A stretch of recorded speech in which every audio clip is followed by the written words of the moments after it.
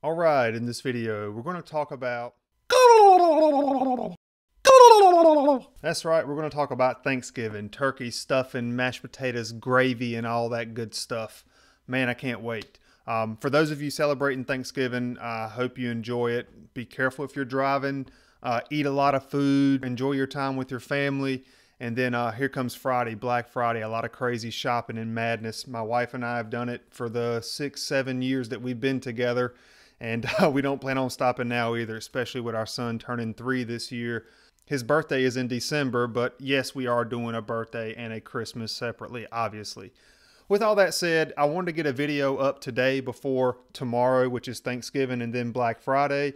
This is the accordion style menu animations, and I'm skipping the AutoRemote tutorial for right now because I want to come up with something better than what I have planned right now for you all. So here are the accordion menus. I have four of them and I can touch each individual section and it's going to open one up and it's also you did notice that each little section bar was sliding as I opened them up. I can also close them individually. Notice I just closed section two there. I can close four, I can close one, I can close them or open them in any order that I want. I can still leave sections open or whatever. And then not only that, any given point in time, if you want to close them all, press any one of those X's and bam, they all close back up.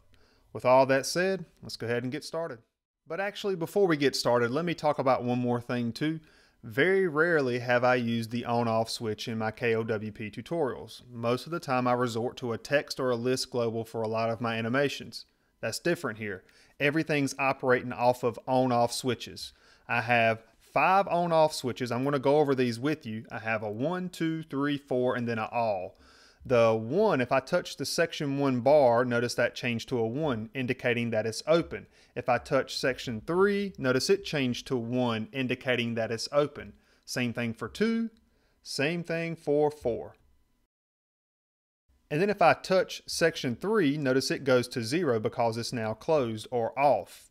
And then what I also have, that fifth on off switch, all if I touch this, that's going to cut that switch on and automatically cut all of my other ones off.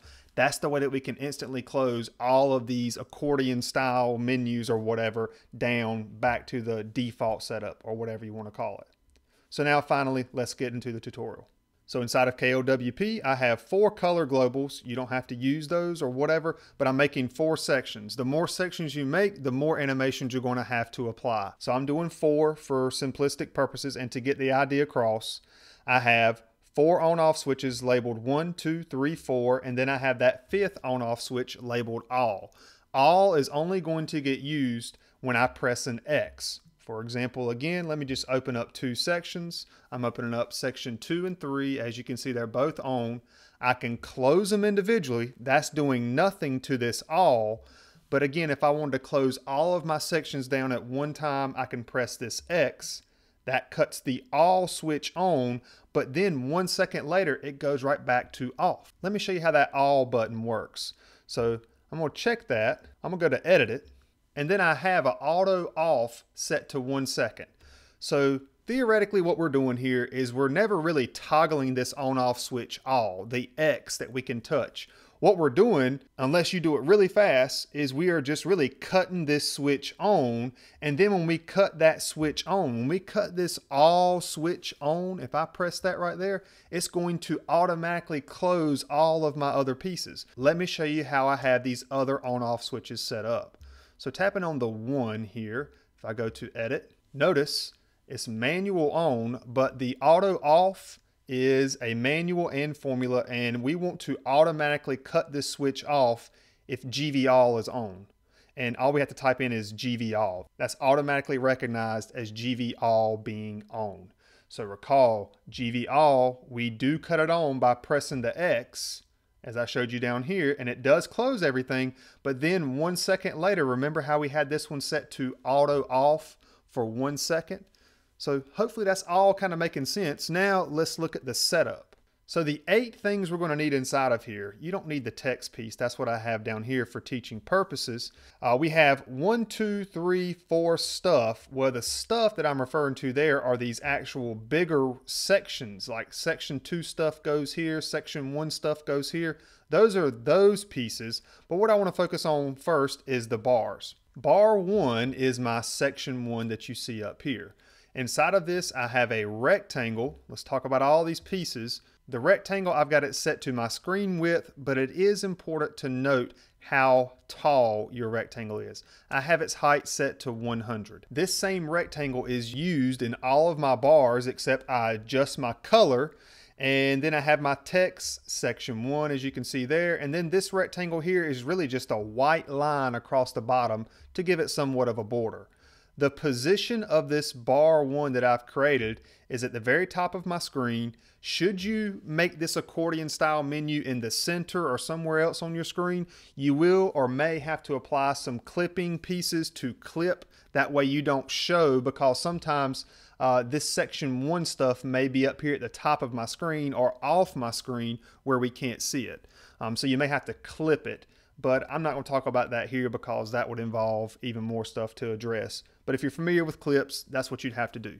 For now, I'm talking about the top of the screen, or you could just as easily put a graphic right up here at the very top if you had this section somewhere else to block the pieces in the back. Anyway, bar one, when we touch it, we want to toggle that on off switch that we called one. So that's all I'm doing for touch. There is no animation for bar one. And once you create that, go ahead and copy it and name it bar two. Bar two is going to be this one that you see here. Same type of rectangle, slightly different text just to show you what I'm talking about. Section two, same little white line at the bottom of that overlap group.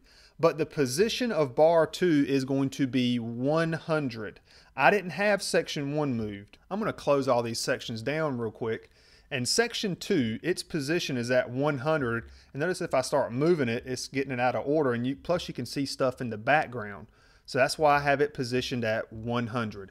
100 is based off the height of each rectangle. There is an animation for bar number two because I want bar number two to move down when I open section one up. So this animation is a complex animation. Formula if GV1, move it forward, otherwise move it back. Basically, GV1, if GV1, that means if GV1 is open, I want to slide bar 2 down some. How far do I want to slide it down? That depends on how big you want this region in here to be. When we talk about one stuff, two stuff, three stuff, and four stuff, don't go making these rectangles real big because if you go and open up all of your sections, your sections could slide off the bottom of your screen. The height of my rectangles inside of here, not my bars, my stuff is 200. So notice for my complex animation, I have it E set to normal. I have one entry and at 100%, I want my Y offset to be 200. I've also set that ease to normal as well. You don't have to do that, but that's what I have it set up here. It is important, however, to move that Y offset the same height of your stuff, the height of your stuff, not the height of your bars. The height of my bars are 100. The height of my stuff is 200. So again, if I close this down, whenever I touch one, that's what's going to trigger this animation because remember, if GV1, we want to move it forward, otherwise we want to move it back. And when I touch this one and activate my one global, this slid down 200 units, which allows me to see this stuff, which is 200 units tall. Now make sure for your touch for bar two, make sure you toggle the correct switch there, global switch two now. And now for bar three, very similar setup here. For animation, we have to have the same animation for the GV1, and we are going to move it the exact same distance, 200, E set to normal in my case. But then we have to have a second one because sometimes for bar three, let me show you this. If I open section one, I want bar 3 to move 200 just like section 2 moved 200. But then sometimes bar 3 might have to move an additional 200, such as when I open section 2. That's why I have a second animation for my section 3 bar. So this is the second animation. If GV2, move it forward, move it back. Hopefully you're seeing a pattern there. What about its complex animation? Same thing. Y offset 200. So these two animations are actually going to trigger it to move 200 and then maybe even 200 more depending on if one is on, two is on, both are on, or whatever. And that's what's going to trigger this 3 to move the way it does. Again, that Y offset of 200 is based off the height of my stuff, these pieces I have inside of here. I hope that makes sense. Now let's back out of here. Let's go to bar 4. Same setup, change your touch, global switch 4, animation. If you're following the pattern here, we now need three of them. The first one is based off of if GV1 is on, and again, it's the same Y offset I've gone over of 200. And then bar 4 could actually be moving if GV1 is on, this is GV2 as I showed you a moment ago, and now look at this one. This is going to be GV3. Same type of Y offset and everything. So it's a pattern here definitely, and hopefully you do see now, if you added a fifth section or a sixth section, you would need to add those additional animations for each piece as you went up. Bar 2 had one animation. Bar 3 had two animations. Bar 4 has three animations that you can see right here. Hopefully you see that pattern there. Now let's talk about the stuff. What stuff am I talking about? The stuff are these rectangles that we have here. So let me go to one stuff and notice the layering here. I have the bars at the bottom here, which is essentially putting them at the top of my thing right here. But these are going to be behind my bars. Let's go to one stuff. One stuff has a rectangle. This rectangle is the width of my screen. And recall, I did say this, but now you're seeing it. That's this rectangle here. It has a height of 200. That's how far we were moving our bars when we were animating. I have some text here just for demonstration purposes. And then I have that font icon. That font icon, if I go to that, that's that X. I have it toggling the global switch all. Technically, as I mentioned earlier, all this is theoretically going to be doing is cutting our global switch on because I have that auto off timer set to one second to automatically cut the switch right back off. The position of one stuff, if we go to its position, I want one stuff to be right at the bottom of section one bar. So that's why I have it set to negative 100 though. But why do I have it set to negative 100? Negative 100 is actually putting it a little bit up here above the screen um, because this rectangle, one stuff, part of it's back here now, its height is 200. So to have it to line up at the bottom, since this bar height is 100, I need to move one stuff up. So really right now, one stuff is right in here. But when we animate, if GV1 is cut on, we want to move this animation forward. Otherwise, we want to send it back. So what this is going to do here, right now again, one stuff is up around here. Half of it is off the screen based off my bar height and my stuff height. The animator, Y offset, set to 200. That's going to move. Now, if you can see this red line, I'll tell you what, I'm going to zoom in. Watch this red line. It's going to move down 200 units. See that red line move? And there's the top of my bar. But when I cut section one off, notice this red line disappears. That top red line disappeared. That's important to adjust your positions properly. Now I have no touches applied to any of my one stuff, two stuff, three stuff, or four stuff. Let's go to two stuff now. Same setup. Let's go to its position. The position for this one is perfectly at the top of the screen. And the reason why, we are talking about two stuff. So let me zoom in and you can't quite, you can see the red line here for the bottom, but it goes right up here. It's positioned right there. Now, as I cut this on, notice this red line slid down. It's sliding down 200. If I close it, notice this red bar goes back up and everything is behind these bars so you cannot see that. The animation for two stuff, there are two animations that are needed. One of them is if we have GV1, if GV1 is open, then we have to actually slide this card behind everything, even though we don't see it. We still have to slide it down because technically the two bar is going to move. Let me show you what I'm talking about. I'm pressing section one, but my two stuff is right here now. We cannot see it because I have it layered behind my section one stuff.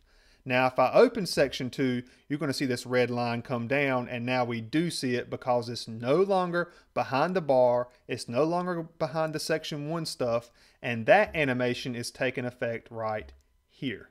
So look at this formula. If GV2, we want to bring it forward, otherwise we want to bring it back. Well, what do you think we're doing here for our complex animation?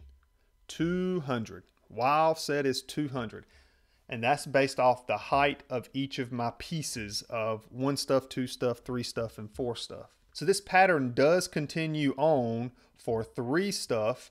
Where's three stuff positioned at? Let me go ahead and close everything down to give you an idea of where three stuff is.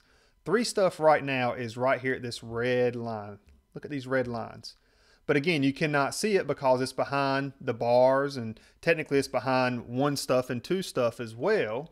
But what I want you to notice is that animation, I have three animations now. This is the same one. This is important. You could just copy and paste this stuff, you know, once you create one of them. And this is the one based off of GV1. Same stuff, same 200 stuff I was talking about. This one's based off of GV2 because technically this three stuff has three different times it could move. Let me show you the third one, GV3, and again, all of these have the Y offset set to 200. And the reason why I need three animations here is because look at this red line. The red lines are going to move, but you're not going to see anything. We need to move it because whenever I do open three, that's when I want it to slide out. And now if I click section two, the three bar is going to move down, but this section three stuff is going to stay in the exact same position relative to the bar. And that's based off of me having three animations because technically three things could happen. We could have all three of them opened up. We might have just GV1 and GV3 opened up. We might have just GV3 opened up. But notice all these animations are keeping everything positioned where it needs to be. And then last but not least, four stuff, you guessed it, we need four animations. One based off of GV1, GV2, GV3, and GV4. All of them are 200s. And um, yeah, there's definitely a pattern here, but as you can see, it does get very involved in terms of how far you want to move stuff, and it's based off of your bar heights and your stuff heights. Keep that in mind. Pick nice numbers. I picked 100 for my bar height and 200 for my stuff height.